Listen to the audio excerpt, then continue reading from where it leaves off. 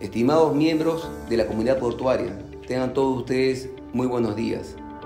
Hoy, 10 de enero, deseo expresar, a nombre de quienes integramos la Autoridad Portuaria Nacional del Perú, nuestro cordial y afectuoso saludo a los trabajadores portuarios de nuestro país, fecha en la que conmemoramos el trabajo que realizan.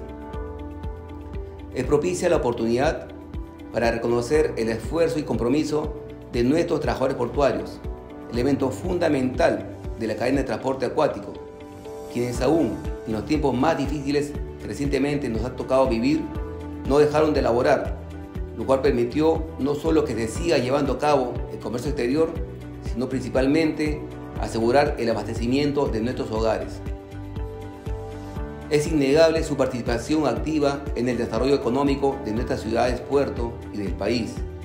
De no ser por ustedes, no sería posible este desarrollo, el mismo que dinamiza la economía de los puertos y de todo el Perú.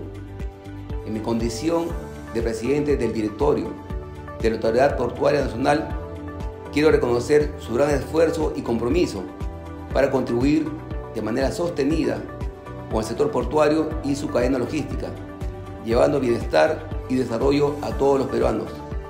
Muchas gracias por el trabajo que realizan. Feliz día del trabajador portuario.